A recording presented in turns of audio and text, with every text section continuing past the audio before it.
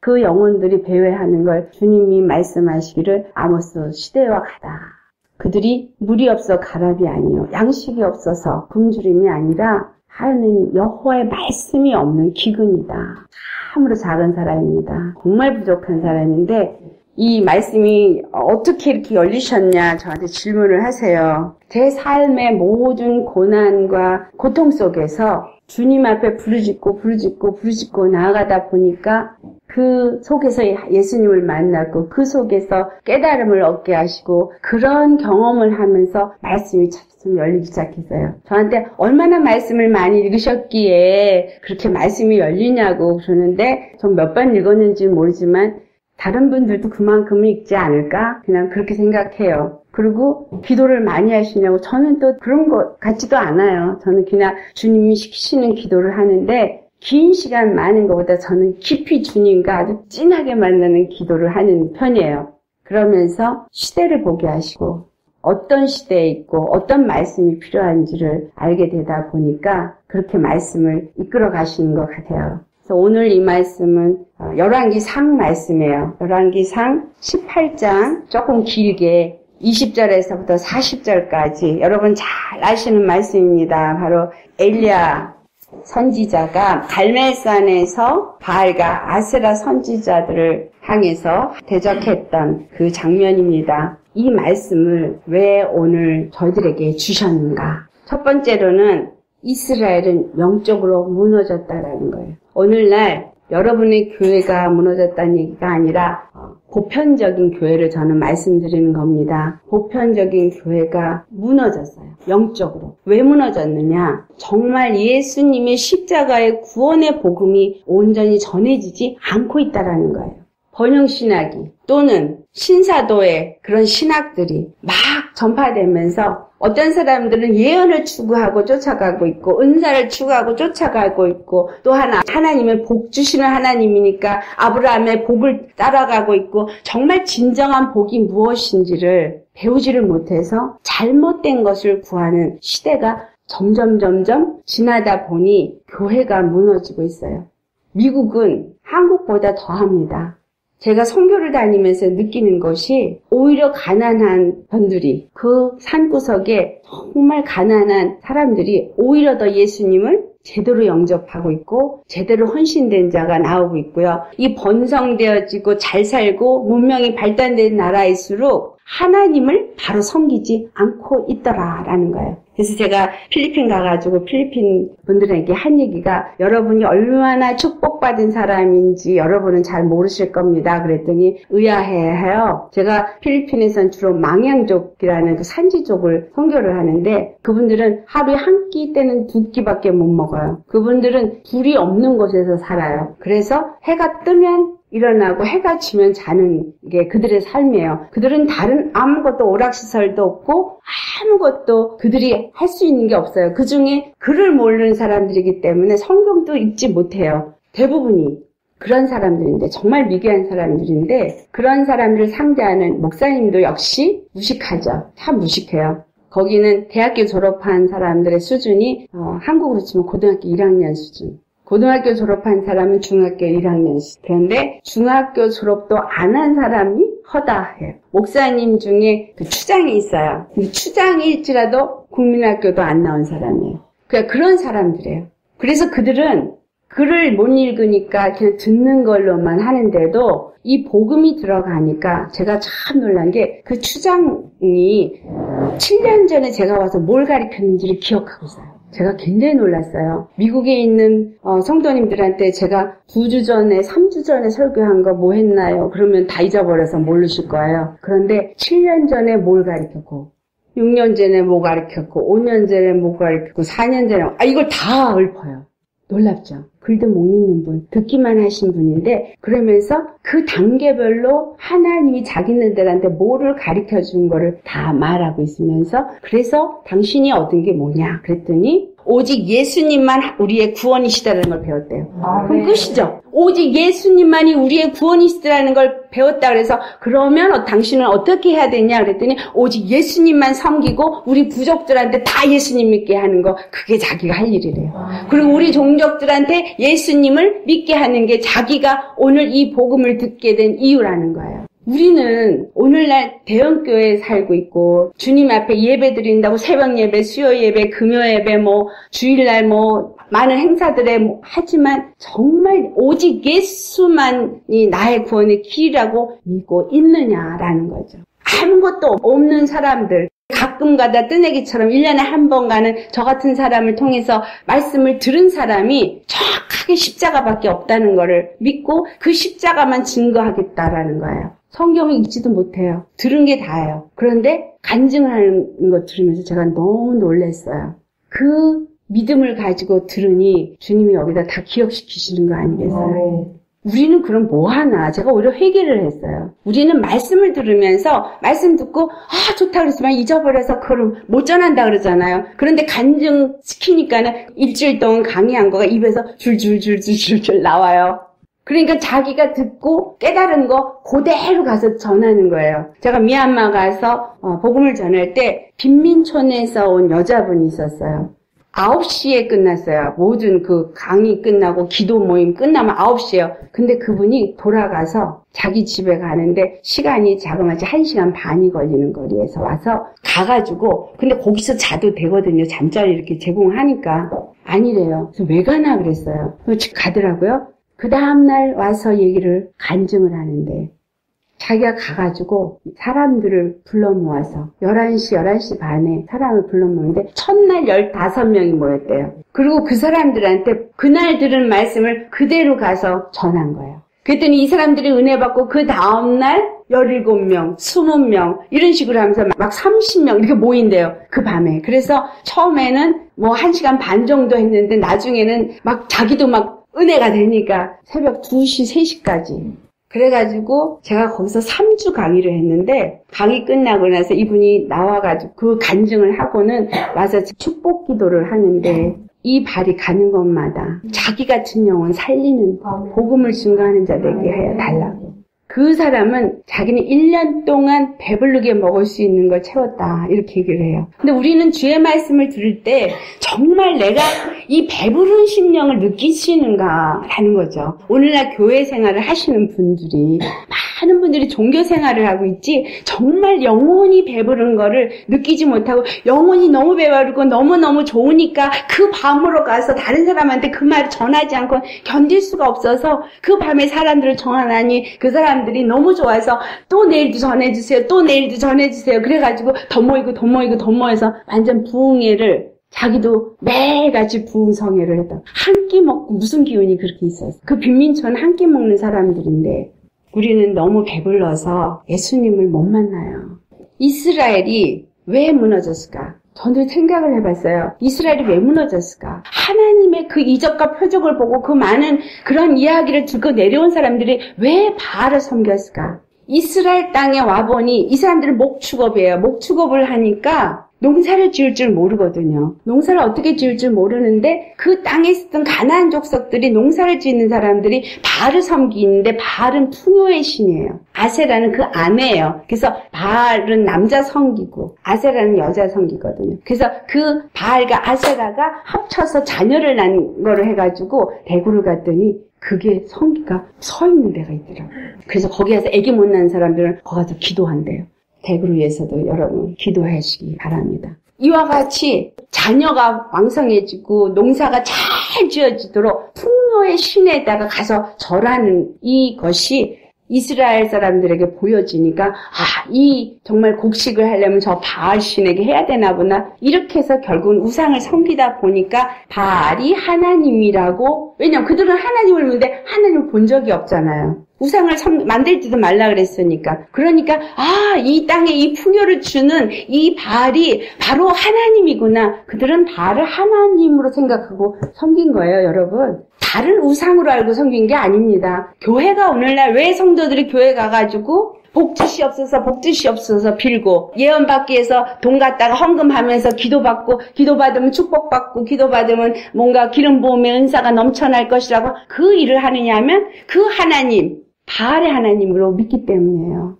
하나님이 하나님이 아닌 것을 그게 하나님이 아니라고 안다면 그렇게 안 하죠. 근데 모르기 때문에 이스라엘도 마찬가지예요. 그들이 바알을 섬기면서 결국은 타락된 거예요. 오늘날 교회가 번영 신학이 들어가면서 타락이 되어져죠. 그리고 철학적으로 하나님을 만나려고 하다 보니 타락이 됐고 아브라함의 복이 바로 영적인 복이 아니라 물질의 복으로 설교를 듣다 보니까 타락이 된 거예요. 그래서 첫째는 목사님들이 회개하셔야 되고 그리고 성도님들도 회개해야 돼요. 왜냐하면 성도님들이 왜 그렇게 속았냐? 성경을 안 읽으시니까. 기도 생활을 안 하니까. 결국 목사님이 잘못된 설교를 해도 그것이 맞는 줄 알고 아멘 아멘 하다가 결국 내 영혼이 죽어지는 거죠. 이렇게 여러분들이 말씀을 듣고 아 이제 이거구나 십자가 복음이구나라고 알게 되어진 건 하나님의 은혜입니다. 아, 주님의 은혜는 이미 2016년 전에 우리가 예수님을 찾기도 전에 주셨어요. 그런데 그 십자가를 주시고 십자가 외에는 다른 길이 없다고 말했는데도 십자가는 외면하고 그냥 주시옵소서 주시옵소서 그리고 바알을 부르짖고 섬기는 것이 예수님을 섬기고 예수님께 부르짖는 거라고 착각을 하고 있었던 거죠. 하지만 거기에는 예수님이 없어요. 그럼 교회 안에 예수 이름을 부르는 교회가 예수님을 주라고 부르는 교회가 많은 악기를 동원해서 찬양을 드린다는 교회에 예수님이 없다라는 사실입니다. 절대로 없죠. 이게 슬픈 사실이에요. 그래서 여러분은 정말 집사님, 권사님 왜 평신도에게 이런 은혜를 주시느냐? 영혼들을 깨우는 일을 하시라고. 오늘 엘리야가 갈멜산에 나아간 이유는 뭐예요? 이스라엘이 바알을 섬기면서 바알을 하나님으로 생각하고 섬기니까 참 하나님이 누구신가를 가르쳐 주기 위해서 하나님이 그를 보내신 거예요. 열왕기상 18장 20절의 첫 번째로 아합에게 말하잖아요.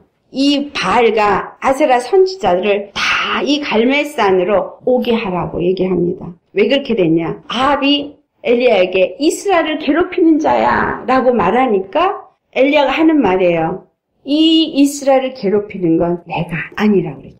괴롭히는 자는 누구라고 말해요? 18절 말씀이 이스라엘을 괴롭게 한 것이 엘리야 내가 아니라 당신과 당신의 아비의 집이 괴롭게 하였다. 왜? 이는 여호와의 명령을 버렸고 당신이 바알들을 쫓았습니다. 자, 우리 심령이 왜 공부하고 왜 힘들었느냐? 여기 하신 말씀 전혀 드리지 않습니다. 쓴물을 듣다 보니 정말 제대로 된 복음을 듣지 못하다 보니 심령이 답답하고 심령이 뭔가 찾게 되어지게끔 은혜를 주님이 주시다 보니까 찾고 찾고 찾다 보니까 만나게 되신 것이죠. 저같이 부족한 종을 잘나고 유명한 목사님들을 사용 안 하시고 왜 사용하시냐고 제가 여쭤봤어요. 유명한 목사님에게 말씀의 은사를 부어주시면 성도들이 유명한 목사님이니까 더 와서 듣고 더 잘 들을 거 아니냐. 근데 나 같은 사람 이름도 없고 정말 부자도 없고 없는 사람 특히 남자도 아닌 여자에게 왜 이 말씀을 주시고 전하게 하시냐 여쭤봤어요. 그랬더니 저들 안에 욕심이 차서 부어줄 수가 없다. 자기 욕심은 뭐예요? 목회를 잘하고자 하는 거, 뭔가 사람들한테 인정받는 목회를 해야 되니까, 그리고 뭔가 그럴싸하게 보여져야 되는 명예와 이런 것들을 따라가다 보니까 예수님이 그 안에 들어갈 틈이 없는 거죠. 근데 저는 너무 부족해서 매일 예수님 아니면 나는 못 살아요. 이것만 한 사람이거든요. 제가 할 수 있는 능력이 아무것도 없고 예수님이 아니면 나는 살 수도 없어요. 왜냐하면 체력적으로 제가 굉장히 약해요. 지금은 살이 많이 찐 거예요. 체력적으로 약하고 정말 예수님이 아니면 하루도 숨 쉴 수 있을 자신이 없는 사람이에요. 그리고 은혜를 받다 보니까 이 은혜가 너무 귀해서 어떻게 하면 예수님을 해서 살까 하다 보니 주님 앞에 맨날 엎드리게 됐고 그래서 은혜를 입게 된 사람이에요. 저는 여러분에게 아무것도 줄 수 없는 사람이에요. 여기 오기 전에도 기도했지만 주님 아시죠? 제가 맨날 하는 기도 스타일이에요. 주님 아시죠? 난 아무것도 줄 수 없어요. 예수님이 주세요. 근데 주님이 무너진 곳을 수축하라는 거예요. 어디가 무너졌냐? 우리 신명이 무너졌고 교회가 무너졌고 이 시대가 무너졌어요. 그래서 반드시 이걸 수축해서 다시 세워야 되는 거예요. 이 열왕기상 28장 말씀이 바로 그와 같은 거죠. 그래서 결국은 바알을 섬기게 하고 아세라를 섬기게 한 요인이 누구예요? 이세벨이 세운 바알과 아세라 선지자들인 거예요. 이 바알과 아세라 선지자들을 거짓이라는 것을 드러내야 되잖아요. 그래야지만 영혼들이 하나님을 다시 섬길 수 있는 자가 되죠. 그것을 이제 하기 위해서 누구를 보냈냐 하면 바로 엘리야를 보낸 거예요. 엘리야가 여기서 말하죠. 나 외에는 한 사람이에요. 한 사람. 나 외에는. 우리 모두 바로 그 한 사람 되시기 바랍니다. 아, 네. 안양의 한 사람, 의정부의 한 사람, 또 인천의 한 사람, 수원의 한 사람, 태릉의 한 사람, 오원구 한 사람, 용인의 한 사람. 여러분 정말 이 한 사람이 천을 당하고 만을 당할 수 있어요. 그 이야기는 내가 할 수 있어서가 아니에요. 나는 못하는데 예수님이 함께 하시면 할 수 있다라는 거예요. 여러분 한 사람 한 사람이 정말 예수님이 맘 놓고 사용하는 그릇이 되시기 바랍니다. 그런데 첫 번째는 무너진 내 심령이 살아 일어나요. 내 심령이 살아 일어난다는 얘기는 그동안 잘못 믿었던 거, 그동안 잘못 깨달았던 거, 이런 게 다 수정이 돼야 돼요. 무엇으로? 오직 예수님 외에는 그 어느 것도 구원이 이룰 수 없다라는 거. 성경은 제가 성경에 이미 말씀드려서 여러분 다 들으신 얘기예요. 구약 39권. 신약 27권. 이 모든 것은 딱 하나를 말하고 있다는 거예요. 하나님의 구원. 아멘. 근데 하나님의 구원이 누구로 말미암아 예수 그리스도로 말미암는다는 걸 말하고 있고 예수 그리스도의 십자가의 피로 구원이 이루어진다는 걸 말하고 있어요. 그래서 그 어디를 가서 파도 바로 예수님이 십자가 복음이 나오게 돼 있어요. 내 삶에 어떠한 일이 일어나도 예수 십자가만 붙잡으시면 구원의 역사가 일어나요. 여러분 모두가 아마 그러실 거예요. 저는 사실 제가 여기서 설교하기보다 여러분들이 경험한 간증을 더 듣고 싶은 사람이에요. 너무 귀한 분들이니까. 그 이스라엘이 괴롭힘을 당한 것은 여호와의 명령을 버리고 발을 쫓았던 것이기 때문에 주님은 우리에게 먼저 뭐부터 하게 하세요? 회개부터 하게 하세요. 회개를 통해서 하나님을 바로 믿지 못한 것을 회개하다 보면 주님이 이제 그걸 하나하나 수정을 시키셔가지고 하나님의 영광을 나타내게 하십니다. 마지막 때의 일을 기록하고 있던 계시록에 나오는 교회 중에 두아지라 교회가 있어요. 자, 이 두아지라 교회가 어떤 교회로 표현되고 있어요? 거기 이세벨이라는 이름이 호명이 되어져요. 계시록 2장 우리 18절 찾아보시겠어요? 계시록 2장 18절에서 우리 21절 말씀 자, 찾으셨으면 우리 함께 봉독하겠습니다. 두아디라 교회 사제에게 편지하기를 그 눈이 불꽃 같고 그 발이 빛난 주석과 같은 하나님의 아들이 가라사대 내가 내게 사업과 사랑과 믿음과 섬김과 인내를 안오니 내 낮은 행위가 처음 것보다 많도다. 그러나 내게 책망할 일이 있노라. 자칭 선지자라 하는 여자 이세벨을 내가 용납함이니 그가 내 종들을 가르쳐 꿰어 행음하게 하고 우상의 재물을 먹게 하는도다. 또 내가 그에게 회개할 기회를 주었을 때 그 음행을 회개하고자 아니하는도다. 이 두 아지라 교회가 하나님의 사업도 열심히 하고 하나님을 사랑하는 마음도 크고 믿음도 있고 섬김도 잘하고 인내도 잘한 교회예요. 많은 사람들이 이 정도면 굉장한 열심 있는 신앙인입니다. 그런데 이러한 사람들이 나중 행위가 처음 행위보다도 더 많을 만큼 뭔가가 정말 그럴싸하다라는 거죠. 그런데 그들이 주님이 지금 책망하시는 말씀이 이세벨을 용납했다는 이세벨은 지금 아합의 아내예요. 근데 아합의 아내로서 그냥 구약에 나온 이세벨인데 왜 신약에 와서 이 이세벨을 얘기하느냐. 오늘날 신약에는 이것을 이세벨의 영이라고 말하죠. 교회 안에, 내 안에 이세벨의 영이 들어오게 영납해달라는 거예요. 이세벨의 영이 우리 안에 들어오면 어떤 일이 일어나냐? 행음하겠다. 하나님을 열심히 섬기고 교회에서 충성하고 뭔가 봉사도 하고 믿음의 삶도 사는지 모르지만 온전히 그들 마음에 예수님이 주인이 아니란 얘기예요. 무엇이 주인이냐? 뭔가 행위로 인정받는 것. 목사한테 인정받는 것. 또는 사람들한테 인정받는 믿음. 뭔가 보여지는 어떤 결실이 나타나는 그러한 신앙생활. 그래서 뭔가 기도를 많이 하는 것 같고, 헌문도 많이 하는 것 같고, 봉사도 많이 하는 것 같고, 이런 모든, 그러면서 뭔가 믿음으로 쭉 믿습니다 하면서 인내도 하고, 고통을 겪는 것도 같고, 아, 정말 저 집사님은 너무너무 기도 많이 하신 분이야. 막 철야도 하고, 막 금식도 하고, 뭔가를 많이 하는 사람. 그런데 그 안에, 그 심령에 정말 주인은 누구냐라는 거예요. 여러분, 우리가 예수 믿으면서 정말 내 안에 주인이 예수님이 아닌 분들이 바로 이와 같은 두아지라 교회 같은 분들이 많이 있다라는 거예요. 그럼 예수님이 나의 주인이 되어졌다면 뭐가 다르냐? 예수님이 주인이면 주라는 것은 종이 되어야하는 얘기예요. 그쵸? 주, 종. 예수님이 주인이면, 하나님이 주인이면 나는 그의 종이에요. 다시 말하면 나는 그분의 것이에요.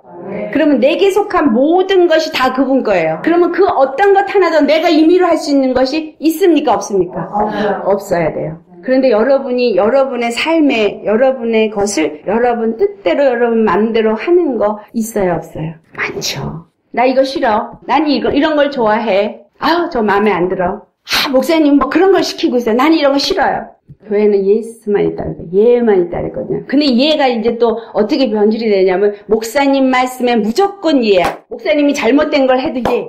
목사님한테 충성하면 복 받고 그러면 믿음이 뭔가 좋은 걸로 그렇게 가리켜서 중요한 거는 목사가 주인이 아니고 예수님이 주인이에요. 교회에서 목사님을 통해서 뭔가 어떤 지시를 내서 순종하게 하는 것도 내가 순종할 때는 누구 때문에 순종해야 되냐면 목사님 때문에 잘 보이고 목사님의 말씀에 순종하기 위해서 하는 것이 아니라 예수님이 그것을 하게 하시면 순종하셔야 돼요. 예수님이 아니면 안 하셔야 돼요. 여러분의 담임 목사님들은 아마 이런 설교 하는 거 들으면 싫어하실 거예요. 그러니까 항상 뭐 해야 돼요? 예수님께 물어봐야지. 예수님이 나의 주인이어야 되는 거예요. 왜냐하면 여러분이 지금 각각 교회도 다르고 지역도 다른데 이렇게 모았잖아요. 왜냐하면 여러분의 주인이 예수님이기 때문에. 예수님이 나의 주인이기 때문에 정말 예수님, 정말 이곳에서 나의 지금 이 순간에 내가 무엇을 하길 원하십니까? 물으시고 주님이 하게 하시는 거를 해야 되는 거예요. 아멘. 내가 싫어도 하게 하시면 해야 돼요.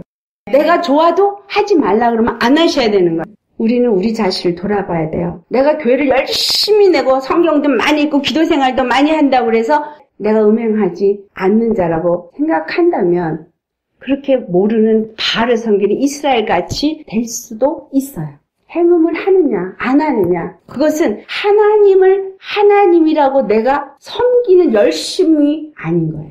정말 하나님이 원하시는 믿음은 뭐냐? 하나님을 주로 섬기는 거. 주로 섬긴다고 할 때 종은 어때요? 주인이 시키는 것만 하죠. 이스라엘 백성이 출애굽을 해서 그 광야를 통과할 때 그들이 광야에서 뭘 했던 거 하나도 없었죠. 뭐만 했죠?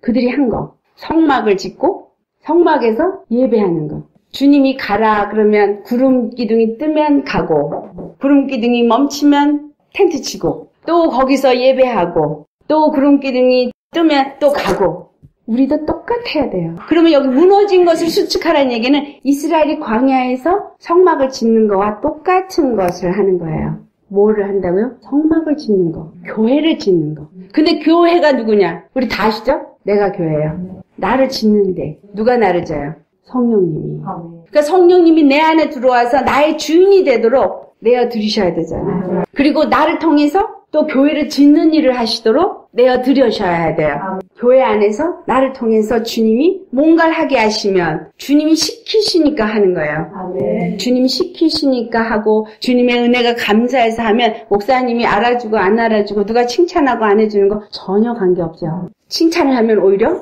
하지 마세요. 왜 하늘에 가서 상 받을 게 없어지거든. 이런 얘기를 제가 할 수 있는 건 제가요 아주 누구 뒤지지 않을 만큼 봉사를 했거든요. 개척교회 두 개 세웠어요. 정말 교회 안에서 하는 일은 다 했어요. 다 알아요. 모든 걸 다 했으니까 너무너무 잘 알아요. 두세 시간밖에 안 자면서 개척교회에서 이 일 절 도맡아서 하다 보니까 야 나처럼 이렇게 일을 많이 하는 사람이 있을까? 저 하늘나라에 바울 그래도 옆자리라도 어떻게 주지 않을까? 그런데 주님이 저한테 너는 네 상이 이미 다 받아서 없다 그러셔서 제가 쇼크 먹어가지고 넘어가는 줄 알았어요. 그러면서 그때부터 주님이 저를 다시 훈련을 시키시면서 완전히 바닥으로 내리셔서 나는 종의 자세가 되게끔 하셔서요. 정말 낮은 자, 작은 자, 정말 종이 되게 하시고 그때부터 주님이 이끌어 가셔서 오늘 제가 있게끔 되어지다 보니 무슨 일을 해도 아 내가 했네 이 마음 안 생겨요. 그래서 할렐루야요. 여러분이 저를 아무리 칭찬하셔도 제가 할렐루야 주님께 영광 돌릴지언정 제가 영광을 취하지는 않아요. 그렇게 저를 만드셨어요. 그래서 저는 그게 감사해요. 주아지라 교회가 이 세배를 섬기는 줄 그들이 알았겠어요. 몰랐지. 오늘날 우리가 예수 믿는 사람들이 정말 해야 되는 게 내 신앙, 내 마음, 내 안에 주인이 누군가 이것부터 돌아보셔야 돼요. 아, 네. 예수님이 주인으로 온전히 주장되어지지 않으면 무너진 곳이 어딘가에 있어요. 그럼 그 부분을 회개하시고 주님으로 하여금 그걸 다시 세우게 하셔야 돼요. 근데 다시 세우는 건 뭐냐면 예수님이 그 부분을 주장하게 하셔야 되는 아, 거예요. 네. 생각을 예수님이 주장하고 마음을 예수님이 주장하고 입술을 예수님이 주장하고 눈도 보는 것도 귀에 듣는 것도 예수님이 다 주장하실 정도로 나는 온전히 그의 종이 될 사람이 되셔야 합니다. 그러니 말씀과 기도 없이 어떻게 하겠어요? 그러니까 말씀 하루 종일 들으신다니까 할렐루야. 아멘. 열심히 들으세요. 뭔지 모르겠지만 그냥 들으시면 돼요. 듣다 보면 성령님이 바꾸세요. 우리 카페지기님이 저를 만나면서 지금까지 오면서 제가 그분한테 이래라 저래라 한 적이 없는데 예수님이 그분을 이렇게 변화시켜 가게 하시는 걸 제 눈으로 보거든요. 그래서 아 정말 예수님은 정말 멋있게 일하신다. 그분이 2년 말씀 듣고 지금 말씀이 너무너무 열리셔가지고 제가 그래요. 집사님 이제는 가리키는 하세요. 웬만한 목사님보다 나시네 내가. 근데 말씀을 그냥 열어주시는 거예요. 저한테 들은 말씀에 더 플러스. 열려가지고 아, 이런 깨달음이 열렸어요. 맞나요? 그리고 질문하세요. 그러면 저도 놀라죠. 야, 멋있다. 그러니까 저보다 더 나은 사람이 되셔야 되는 거예요, 여러분. 그러니까 주님이 열어주시면 저같이 부족한 사람들이 이렇게 쓰시는데 여러분같이 귀한 분들을 주님이 얼마나 아름답게 쓰시겠어요? 정말이에요. 믿으세요. 그래서 내 안에 무너진 것을 먼저 발견케 하세요. 그래서 회개라는 걸 하게 되시죠. 깨닫게 하시고 그리고 회개하면 성령님이 변화시키고 또 뭔가 어, 또 잘못된 것을 또 발견할 때 아, 이게 아니네. 그리고 이제 어, 부딪힘을 느꼈을 때 다시 돌아가게 하시고 그러면서 무너진 것을 자꾸 자꾸 세우시는 거예요. 내 안에 하나님이 거하실 성전이 온전히 세워져야 성령님이 임하셔서 거기서부터 물이 흘러내려가잖아요. 우리 요한복음 7장 38절 말씀 다들 좋아하시죠? 생수의 강이 흘러넘치리고 37절 38절 그 성령이 생수의 강이 흘러넘치려면 여기 보좌가 세워져 있는 거거든요. 계시록 22장 1절 말씀이에요. 하나님과 및 어린 양의 보좌에서 생수의 강이 흘러내리는데 그 생수의 강의 보좌가 저 멀리 4차원의 하늘에 있는 게 아니라 바로 오늘 믿는 여러분 속에 그 보좌가 있거든요. 아, 네. 그러면 이 보좌라는 건 주 왕이 앉는 자리인데 내 안에 왕이 되셔서 내 안에 들어오셔서 자정하시고 나를 다스리고 통치할 때 거기서부터 생명수가 흘러나오는 거거든요. 아, 네. 성령 충만 주시옵소서. 막 목사님한테 안수 받아서 성령 충만 받으면 생수강이 흘러 넘치는 줄 아세요? 아니에요. 예수님이 주인이 되시면 생명수가 거기서부터 나와요. 성령님이 말씀을 거기서부터 주십니다. 아멘. 그래서 그분이 내 주인이 되도록 우리는 내 심령이 예수님이 좌정하게 하는 게 바로 무너진 성전을 수축하는 거예요. 그럴 때 알아서 그분이 지시하죠. 이렇게 해라, 저렇게 해라. 어, 나는 주님의 음성을 잘 못 듣는데요. 저도 그랬어요. 주님의 음성이 어떻게 듣지? 귀에서 뭐라고 말을 하나? 근데 성령님이 여기서 마음을 막 주시니까 이게 뭐지? 처음엔 이게 그러니까 모르잖아요. 왜 이런 마음이 들지? 그럼 뭐 잘못하려면 막 두근두근 두근두근 두근 해가지고 어, 이거 하면 안 될 것 같아. 뭔가 무서워. 그래서 안 하게. 그러니까 그런 마음이 막 움직이게 하시는 거예요. 그게 시작이에요. 그래서 내 마음에 원하게 하시고 내 마음에 원하지 않게 하시고 그렇게 하다가 이제 또 말씀이 어느 날 그냥 슉 이렇게 성경 있다 보면 말씀이 확 들어오면서 말씀이 확 제 안에 새겨지고 그 눈물이 쏟아지고 회개케 하시고 또 그 말씀이 은혜가 돼서 막 찬양을 부르게 하시고 이런 경험이 반복되다 보니까 나중에는 이 안에서 말씀이 뽀뽀뽀뽀 올라오고 이 안에서 말씀하시는 걸 점점 점점 더 알아지게 되는 거죠. 훈련을 통하니까 아 이런 일이 일어나는 점점 점점 말씀이 오니까 눈이 열려져요. 그래서 거짓된 것과 참된 것을 분별하게 되고 아, 네. 해야 할 것과 하지 말아야 될 것, 이 시대에 지금 뭐가 잘못되어 가고 있는지 이런 것도 영이 눈이 열리게 되어지니까 분별할 수 있는 게 되어지고 그렇게 될수록 말씀은 더 열리고 그래서 이러한 모든 것들이 단계가 있다라는 거예요. 여러분들도 분명히 그 단계 제가 지난 단계 다 지나가게 되실 거예요. 시작이 어떻게 시작됐든 상관없어요. 주님은 주님의 일을 위해서 그렇게 여러분을 부르셨기 때문에 그 일을 하실 거예요. 예수님 안에서 하나님은 바로 나의 이 무너진 것을 세우고 난 다음에 참 하나님이 누군지인가를 분명하게 가르쳐 주십니다. 그러면 지금 목사님이 단상에서 설교를 하도 틀리게 말하면 알아요. 근데 여기서 중요한 거 있어요. 알지만 엘리야가 이세벨을 대적하진 않았어요. 이 모든 대적은 하나님 맡기셔요. 나는 하나님이 그냥 시키시는 것만 하는 거지 판단하셔도 안 돼요. 정죄하셔도 안 돼요. 아, 네. 그리고 하나님이 하게 하시는 것만 하시면 하나님이 하세요. 이방인과 하나님을 이제 선택할 길을 저한테 주십니다. 마지막 때는요. 에스겔 47장 말씀 제가 에스겔 설교할 때 들으신 분들은 알겠지만 문 지방 밑으로 물이 흘러 나온다 그랬어요. 어디서부터? 지성소에서부터 물이 문 지방 밑으로 해서 흘러나와요. 왜 문 지방 일까? 그 문 지방은 낮아진 우리 주 예수 그리스도의 십자가를 말하거든요. 바로 내 심령이 예수님이 주인이 되어서 죽고 십자가의 말씀으로 딱 살고자 낮아진 심령. 이런 사람을 통해서 말씀이 흘러나가게 하셔. 내게 참 하나님이 무엇이고 참 복음이 무엇인지를 알게 한 다음에 그 참 하나님을 이 엘리야처럼 드러내는 일을 하신다라는 거예요. 제가 이미 카페에서도 말씀드렸지만 이 마지막 때는 주님이 곳곳에 교회를 세우실 거예요. 무슨 교회? 가정교회. 네. 초대교회. 사도행전의 초대교회가 집에서 모였어요. 그런데 문지방이 다 흔들릴 정도로 성령이 임자가 강했잖아요. 작은 무리가 모였지만 거기에 그때 그 성전의 회당에 많은 사람들이 모인 곳이 아닌 가정에 모여서 주 예수의 이름으로 정말 역사하달라는 그 기도의 부르짖음에 터가 흔들릴 만한 은혜의 역사가 있었던 것처럼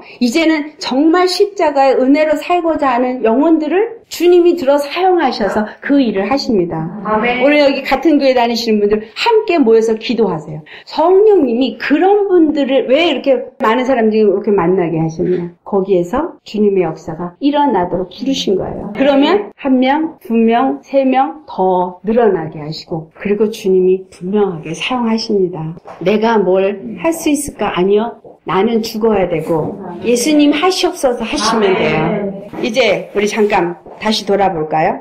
열왕기항 18장 20절 오늘 읽으신 본문 첫 번째 말씀에 뭐라고 말하죠? 백성에게 가까이 나와라 이렇게 말하고 나면 어느 때까지 둘 사이에서 머뭇머뭇 하려느냐 만약에 여호와가 너희 하나님이면 그를 따르고 바알이 만약 하나님이면 바알을 따르라 라고 말합니다. 우리는 복음을 들었으면 여러분 머뭇머뭇 하시면 안 돼요. 제가 만난 분 중에 정말 이 말씀이 진리고 맞다고 하면서도 입을 못 여시는 분이 있더라고요. 그러니까 나만 알면 뭐예요? 여러분 예수님이 왜 우리에게 은혜를 주시고 성령을 부어주세요?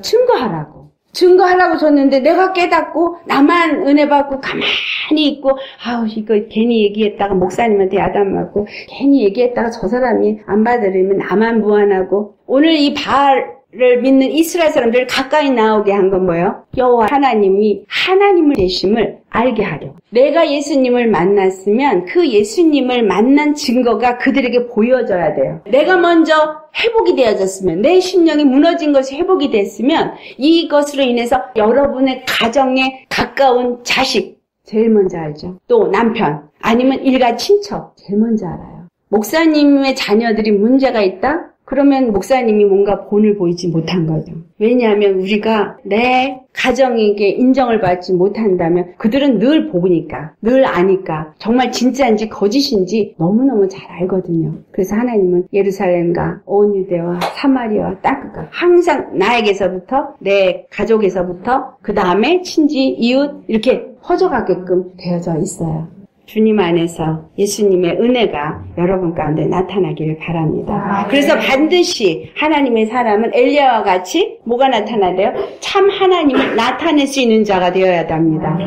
내가 나타내는 게 아니라 내가 뭔가 의도적으로 나타내려고 하는 게 아니라 여러분이 변화돼서 기쁨이 넘치고 정말 행복한 자가 되고 입에서는 생글생글 그렇죠? 그러면 자연히 옆에 사람들이 알게 돼 있어요. 하나님을 나타내고 그 다음에 우리가 그리스도의 교회인이 여 안에 빛이 임하면 그 빛이 어두움을 밝히게 되어져 있으니 어떤 일이 일어날까요? 더러운 영은 더 드러나요. 그래서 더 대적해요. 여러분이 만약에 은혜 속에 들어가는데 어, 안 좋은 일이 일어나서 왜 내가 은혜 속에 들어가는데 이렇게 안 좋은 일이 있는 거야 라고 생각하지 마세요. 그거는 내게 빛이 있기 때문에 어두운 게 이 빛을 빼앗으려고 더 역사를 하는 거예요. 그럴 때는 아, 지금 내 안에 있는 빛이 드러나서 저 어둠이 드러나는구나 하시고 자신감을 갖고 예수의 이름으로 그 어둠을 내치시길 것으로 축원합니다. 그리스도인 교회 우리는 하나님이 참 하나님인 것을 이 엘리야처럼 드러내야 돼요. 그럴 때 그들이 따라오게 돼요. 이 이스라엘이 어떻게 해서 돌이켰어요? 그들이 가가지고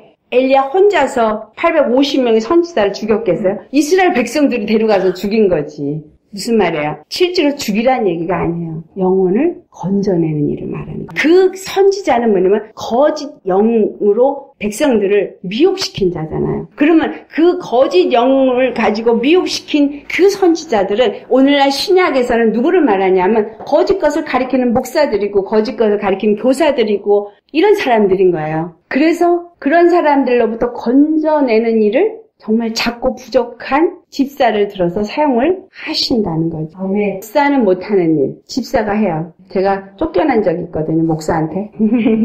주님이 저를 통해서 영혼들을 하나하나 이렇게 구원하는 일을 하게 하는데, 목사는 안 하니까, 목사가 볼 때는 제가 왼수죠. 그래서 제가 쫓겨났어요. 하지만 그 목사는 지금 목사도 아니고 다 그만뒀어요. 주님은 주님의 뜻을 따라 하는 자를 세우셔요. 우리는 정말 썩어진 물을 먹는 영혼들을 건져내셔야 돼요. 주님이 나한테 만나게 하는 사람이 있어요. 제 발로 찾아오는 사람도 있고 또 어떻게 하다가 우연히 만나서 이런 복음을 나누는 기회가 주어지기도 하고 내게 붙이는 영혼이 반드시 있습니다. 그러면 그런 영혼들에게 주님의 말씀을 나누면서 그 영혼을 하나하나 건져내게 되어야 합니다. 아멘. 주님이 저한테 이제 사역을 하는 걸 꿈으로 보여주시는데 이런 교회가 울타리로 보여졌어요. 근데 그 안에 영혼들이 있는데 사단이 저 바깥에서 화살을 쏘아대니까 이 교회 안에 있는 영혼들이 다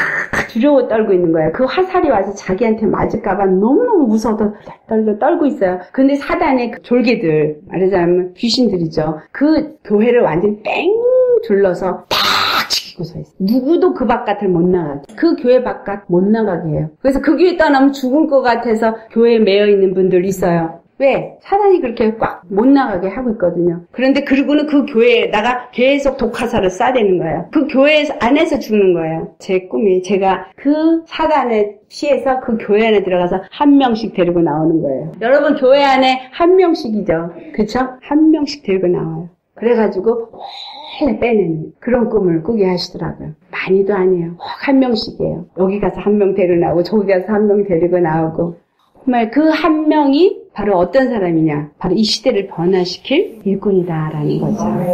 우리 요한복음 잘 아시는 10장 11절에서 12절을 보면 예수님이 말씀하신 게 나는 선한 목자다. 그러면서 하신 말씀이에요. 사꾼은 어떻게 한다 그랬어요? 양을 버린다 그랬어요. 양을 버리고 예수님은 양을 위해서 목숨을 버리시는 분. 여러분이 이 시대를 살면서 참된 목자를 분별하는 눈이 뭐냐면 영혼을 귀하게 여기는지 그 한 영혼이 살고 죽는 거에 그 온 마음을 쏟는 사람인지 그걸 보시고 분별하셔야 돼요. 영혼이 아파고 고통하는데 별로 영혼에 관심 없고 교회를 어떻게 하면 잘 키울까 어떻게 하면 저들이 내 말을 잘 듣고 나를 따라오게 하나 이런 식으로 자기의 목회나 어떤 영광을 위해서 한다면 분별하셔야 합니다. 정말 하나님의 마음은 오직 한 영혼이에요. 그것도 죽어가고 있는 영혼, 고통하는 영혼, 아파하는 영혼. 그래서 누군가가 제대로 예수님을 못 만나서 고통 속에 있다면 바로 그런 영혼을 찾아가셔야 돼요. 그런 영혼에게 예수님의 십자가의 은혜가 얼마나 큰지를 우리는 가르쳐줘서 그 영혼이 건짐을 받을 수 있게 하셔야 합니다. 아멘. 여러분이 그 교회 속에 남아있다면 지금 이 시대에 아무리 변질된 교회일지라도 그 교회에 남아있는 것은 바로 그와 같은 영혼들을 건져내게 하시기 위함이다라는 거예요. 아멘. 엘리야가 바로 그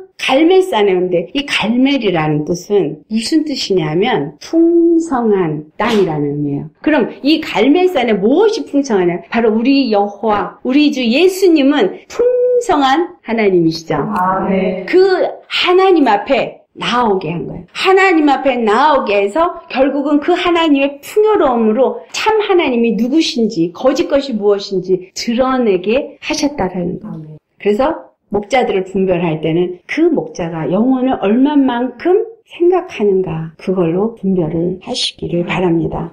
하나님이 되심을 나타냈을 때 열왕기상 18장 23절에서 24절 말씀을 보면 송아지를 택해서 너희들이 놓고 불을 붙이지 말아라 라고 말을 해요. 불을 붙이지 말고 불을 내리는 신이 참 신이 것을 말합니다. 첫 번째, 자기가 믿는 신의 이름을 부르게 하세요. 여러분 교회에서 주여 삼창 한국교회 아주 특별히 삼창 좋아요.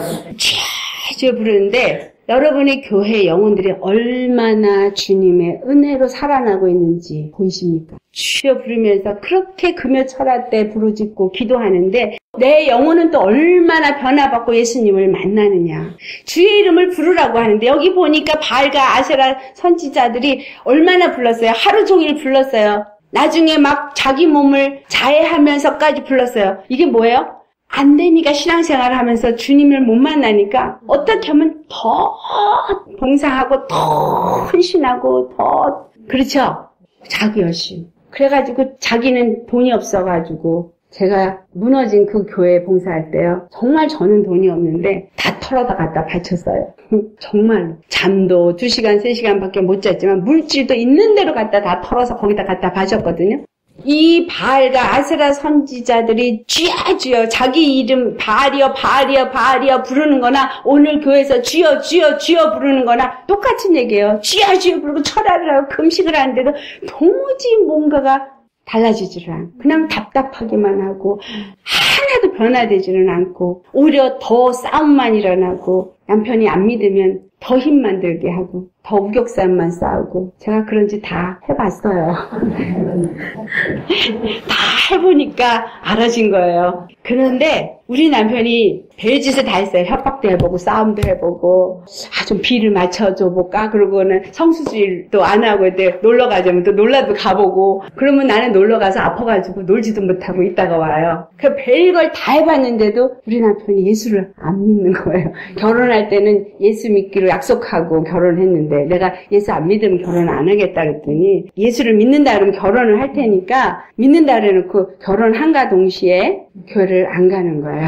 그래서 그때부터 제가 맨날 울면서 주님 왜 나는 은혜 주고 저 사람은 안 했냐고 별걸 다 해봤는데 제 방법으로 다 해봤어요. 해볼 수 있는 거 다 해봤어요. 나중에는 안 돼서 손 들었어요. 날 이제 못하겠어. 예수님이 해주세요. 그랬을 때 주님이 저한테 딱 기도 중에 순종이라는 단어 두 글자를 딱 보여주시더라고요. 제가 첫 번째로 그런 거 본 거예요. 한 번도 그 전에 그런 거 본 적 없어요. 그랬더니 주님이 그때 제 마음에 휙 하고 말씀이 올라오는 게 예수님이 순종했으므로 네가 구원받았다는 거예요. 그러면서 그 순종을 하려고 마음을 작정을 하니까 핍박이 오기 시작하는데 너 이래도 순종하겠냐? 우리 남편 굉장히 착해요. 제가 이렇게 말씀할 때 우리 남편 옛날에 음, 저 핍박했던 얘기하면 아주 못된 남자로 잘못 오해할 수도 있겠지만 너무너무 착한 남자고요. 너무너무 인기인이에요. 선거에 나가면 당선될 정도. 모든 사람이 법 없이도 살 사람이라고 얘기를 하거든요. 그런데 저한테만큼은 하나님이 역사를 하니까 아주 못된 말 골라가면서 하면서 힘들게 했었어요. 그런데 그때 제가 엎드리기 시작해요. 나는 죽고 주님이 하도록 엎드리고 그리고 정말 순종하는 사람이 되려고 하니까 진짜 예수님 우리 남편 마음을 그렇게 바꿔주시더라고요. 그렇게 노력을 해도 안 되는데 한순간에 변해서 교회를 나오기 시작해요. 그때 배운 게, 아, 내가 하는 게 아니라 나는 그냥 예수님 말에 순종하면 예수님이 하시는구나. 그걸 배웠어요. 똑같은 얘기예요. 누가 하는 거예요? 나는 뭐만 하면 돼요? 주의 이름을 부르는데 주인이 주인인 것만 관계만 맺어지면 돼요. 아멘. 내가 주여 주여 아무리 불러도 예수님이 내 주인이 안 돼 있으면 응답이 안 되지만 예수님이 나의 주인이 되어지고 나는 그분의 종이 되어진 딱 겸손한 마음가짐만 가지면 그냥 부르짖으면 바로 주님이 역사를 하시더라. 그래서 이게 굉장히 중요한 신앙에 제가 설교 중에도 늘 하지만 주권의 신앙이 제일 중요합니다. 하나님은 하나님이 되심을 나타내시는 분이에요. 하나님만이 구원이심을 나타내십니다. 그래서 내 삶에 그분이 나의 주인이요 구원의 하나님이요 모든 것의 통치자이신 그 믿음으로 나아가면 어떠한 고난 속에서도 그분은 반드시 그분의 이름을 위해서 일하시기 때문에 영광을 나타내세요. 아멘. 그래서 누구든지 주의 이름을 부르는 자는 구원을 얻으리라. 주야 주여 부르는데 그 말이 아니에요. 주의 이름을 부른다는 얘기는 예수님이 바로 나의 단 한 번 구원이신 분이 되어지면 되는 거죠. 그 다음에 두 번째, 하나님은 불로 응답하는 신이다. 그들이 불렀어도 불이 안 내려왔어. 근데 엘리야가 하나님 옆에 부르짖으니까 불이 내려와서 살랐어요. 근데 도대체 이 불이 내려와서 완전히 사르는데 엘리야는 그 사람들이 지은 바알 신에다가 하지 않았다라는 거예요. 다시 세웠어요. 우리가 그걸 아셔야 되죠. 다시 세웠어요. 그렇죠? 다시 세우는데 어떻게 세워요? 돌을 세우는데 12개를 세워요. 그리고 12개를 세우고 난 다음에 그 다음에 이렇게 돌아가면서 도랑을 파요. 씨 두 개를 심을 만큼 씨 하나 심고 이렇게 좀 띄어서 또 심는데 그 정도의 도랑을 파서 거기다가 물을 붓게 하는데 그 물이 몇 번을 보여? 네 통을 세 번 보여. 네 통을 갖다가 세 번을 붓게 해서 물이 넘쳐나게 될 때에 하나님이 불을 내리세요. 자, 이 의미가 무엇을 의미하느냐? 이것은 바로 하나님의 성전을 의미하고 또한 이스라엘을 의미해요. 이스라엘이 대표적으로 뭐를 성경을 보면 얘기하면 예루살렘을 대표적으로 얘기하죠. 그 예루살렘은 바로 하나님의 성전을 말해요. 그리고 우리가 하나님의 성전이고 우리가 예루살렘. 그래서 우리가 교회예요. 그러면 이 열두 돌은 누구를 말하는 거예요? 바로 저와 여러분을 말하는 거예요. 딱 열두 개가 아니라 바로 예수 그리스도 안에서 하나님의 자녀가 되어진 하나님의 백성이 된 자를 말하죠. 그럼 이 사람들을 다시 세운다는 거예요. 누가? 엘리야와 같은 사람들이.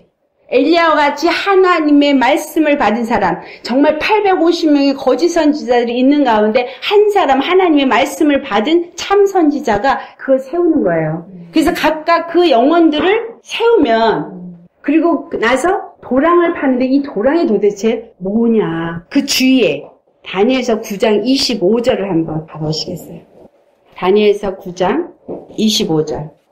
찾으셨으면 우리 함께 봉독하겠습니다. 그러므로 너는 깨달아 알지니라 예루살렘을 중건하라는 영이 날 때부터 기름 부음을 받은 자 곧 왕이 일어나기까지 일곱 이래와 육십이 이래가 지날 것이요 그때 곤란한 동안에 성이 중건되어 거리와 해자가 이룰 것이며 여기서 이 말씀이 바로 오늘 이 엘리야가 지은 바로 그 도랑을 말하고 있어요. 다니엘이 말하기를 예루살렘을 중건하라는 영, 그럼 무너진 것을 수축하라는 거랑 똑같은 얘기죠. 하나님의 교회를 이제 바로 세우라는 영이 내린 그때부터 기름 부음을 받은 자 예수 그리스도를 말해요. 그 예수 그리스도가 올 때까지 그 일을 이루신다는 거예요. 무슨 일을? 성이 중건되는 일을.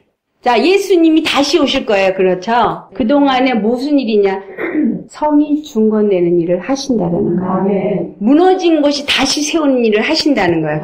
그럴 때 거리와 해자, 거리와 거기 새로 번역한 것도 별로 마음에 안 들어요. 저는 이 해자라고 한 옛날 성경 가지고 제가 얘기를 하는데 해자라는 게 뭐냐면요, 도랑을 말해요. 성하고 세상하고 이 성은 예루살렘 성이에요. 그럼 이 성하고 세상하고 사이에 도랑이 있다라는 얘기예요. 그러면 세상에서 이 성 안으로 들어가려면 뭐가 필요해요? 다리가 필요해요. 그 다리가 뭘까? 예수님의 십자가만이 다리예요. 예수님의 십자가만이 길이에요. 그러면 이 도랑은 뭘까요? 성에 들어가지 못하게 하는 도랑이에요.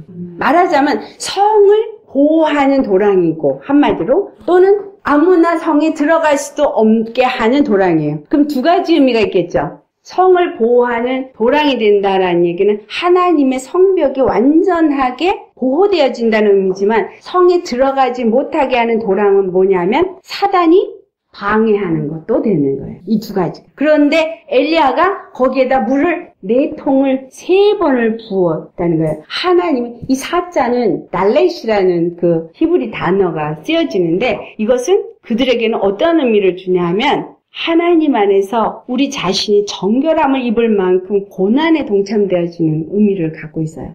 모세도 40년, 40년, 40년, 이스라엘도 40년 광야 생활, 400년 종살이 이 사가 하나님 안에서 완전히 죽어져야 되는 자신이 죽어져야 되는 그런데 세 번이에요. 3. 하나님의 완전수, 하나님이 원하시는 완전한 속으로 들어갈 만큼 그렇게 되어지는 일이 일어나는 건 뭐냐? 이 세상에 그와 같이 영이 완전히 지배하고 구별되어지는 일이 일어나는 시대가 되어짐을 말하고 있고요. 또 다른 하나는 하나님의 지금 엘리야가 물을 거기다 탁 부었다는 건 무슨 말이에요? 그 해자가 이룰 때 하나님의 말씀이 진노로 임한다는 말씀도 돼요. 자, 계시록에 보면 인을 떼는 게 나와요. 인을 떼는 거가 바로 우리 인생의 죄악의 인을 뗀, 뗀 거거든요. 예수님이 그 인을 뗀 거예요. 왜냐하면 종의 문서를 도말해 버리는 거예요. 종의 문서가 일곱 인을 쳐요. 근데 예수님이 계시록 5장을 보면 이건 누가 떼었냐?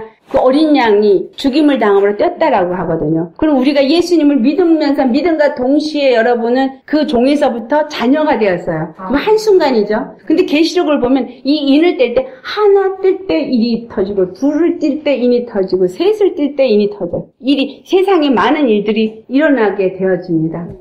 바로 이게 물 붓는 거예요. 두 가지 일이 동시에 일어나는 거예요. 하나님의 은혜의 일과 심판의 일. 이 세상에 악한 자들에게 심판이 임하고 하나님의 긍휼로 건짐을 받는 자들이 일어나지는 거예요. 세상에 안 좋은 일들이 벌어지고 있으면 그 안 좋은 일을 보고 하나님 앞에 회개하면서 한국 이번에 지진 났다 할 때 얼마나 많은 분들이 과연 회개했을까? 얼마나 교회가 회개했을까? 저는 그게 제일 궁금했어요. 어머 우리나라에 또 없던 지진이 생겼대. 어머 어떡하나 이 지진이 나면 어떻게 되지? 어떻게 뭐 이제 좀 준비를 시켜야지. 도망가서 좀 할 거 중요한 것들은 싸놔야 돼. 이런 걸 먼저 생각하시나요? 아니면 정말 회개해서 하나님의 진노가 바로 이 한국을 치지 않게 우리가 부르짖고 기도하느냐? 세상에 어려운 일이 와도 하나님을 믿는 하나님의 백성은 하나님 반드시 보호하시는 거예요. 아멘. 그러면서 저한테 보여주시는 게 목에 칼이 여기 오는 거예요.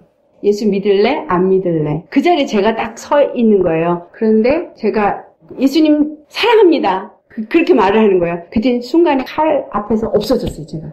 옮겨졌어요. 그래서 어, 이게 뭔가 그랬더니 주님이 저 안에서 깨닫게 하시는 게 나를 사랑하는 사람은 그 죽음 앞에서도 옮겨지다. 아멘. 그래서 Y2K 2000년 되면서 그런 여러 가지 사람들이 막 두려워하면서 문제에 두려워할 때 주님이 저한테 가르쳐 준 건 온전히 예수님만 믿는 주로 믿는 믿음과 예수님을 사랑하는 그 사랑이 굳건하게 내 안에 있으면 죽음 속에서도 건지신다라는 그거를 가르쳐 주셨어요. 아멘. 우리가 이 시대를 살고 있는데 이 시대가 마지막에 마지막을 살고 있는데 이 시대에 하나님이 이렇게 영, 무너진 것을 수 축하도록 부른 영혼들에게는 반드시 기름 부음을 주시고 그 일을 하게 하신다라는 거예요. 아멘. 아멘. 아멘. 그래서 이 물을 붓는다는 얘기는 하나님의 말씀의 심판이 저주로 임하는 것도 되어지지만 은혜의 생수의 말씀이 부어지는 것 동일하게 두 가지가 있는 거예요. 말씀이 내 안에 막 꿀처럼 달게끔 열한 번날 때 부어지는 것은 바로 이 말씀을 먹고 일어나는 자가 되게 하는 것이고 이러한 가운데 구별이 되어져서 정말 이 세상으로 더 쓴 물, 더러운 물로 넘어가는 사람들도 똑같이 있다라는 거예요. 이때 내가 은혜의 말씀을 받고 십자가의 복음 안으로 들어가서 오직 예수님을 더 가까이 할 수 있게 하여 주시는 것. 이것이 너무나도 귀하고 감사한 일이다. 아멘. 계속해서 열왕기상 18장 말씀으로 나누겠어요. 시대에 그냥 교회 다니면서 믿습니다. 그런 때가 아니에요. 말씀의 생수를 부어주시는데 네, 이 말씀을 받으면 내 안에 있는 나를 버리는 고난이 따라와요. 나를 포기하는 고난, 내 생각을 내려놔야 되는 고난, 끊임없는 회개의 고난, 그러면서 내 안에 무너진 것을 주님이 다시 세우시는 일이 먼저 일어납니다. 그러면서 3. 하나님의 사람을 만드세요. 어떤 사람이 되어져요? 마귀가 건드릴 수 없는 사람이 되어져요. 우리는 전부 그런 사람들이 되셔야 해요. 아멘. 아멘. 목사들이 못하는 일, 우리 집사님들 하시기 바랍니다. 아멘. 제가 전하는 말씀만 옳다 이 얘기 아니에요. 잘못 들으시면 큰일 납니다. 저도 그냥 통로예요. 도구. 주님이 주시는 거 그때그때 받아서 전해요. 정말로 저는 설교 제가 짜집게 하거나 아니면 어디서 찾아서 전하는 거 한 번도 없어요. 하나님 앞에 주님 오늘 무슨 말씀 합니까? 그리고 그냥 성경만 읽어요. 읽고 기도합니다. 그러면 주님이 전하게 하시는 거 전해요. 그래서 어떤 날은 성경도 미처 못 읽어요. 미리 묵상을 못해요. 왜냐면 새벽에 일어나서 해야 되는데 그 전날 너무 피곤해가지고 아 도저히 못 일어나겠어요. 예수님 나 못 일어나요. 그리고 이제 늦잠 잘 때 있거든요. 그러면 예배 드리러 아침마다 맨날 가는데 이거 언제 말씀을 안 받았잖아요. 아침에 묵상해야 받는데 그러면 가면서 이거 틀어놔요. 틀어놓고 계속 들으면서 기도하고 묵상하고 그 말씀 들으면서 그러고 가는 거예요. 그러면 너무나 감사해요. 차 안에서 주세요. 어떻게 설교해야 될지, 무슨 설교해야 될지 주세요. 그래가지고 막 그 주신 거에 또 감격해가지고 막 이러, 면서 가가지고 전하죠. 그래서 제가 정말 당당하게 하시는 거. 주님이 주신 말씀이지 제가 준비한 거 아니라는 거. 그리고 여기 말씀도 이 열왕기상 18장 말씀 주님이 이 말씀을 주셔서 어, 이 말씀을 그냥 들고 저는 쓴 것뿐입니다. 그래서 우리에게 지금 주시는 말씀이 바로 주님 앞에 이 무너진 성전을 수축하는 그 일을 해라 라고 네. 하시는 겁니다. 여러분을 통해서 그럼 10년과 가정과 또는 여러분이 또 교회에 속한 교회가 다 회복되어지고 음. 하나님의 영광이 나타나기를 축원합니다.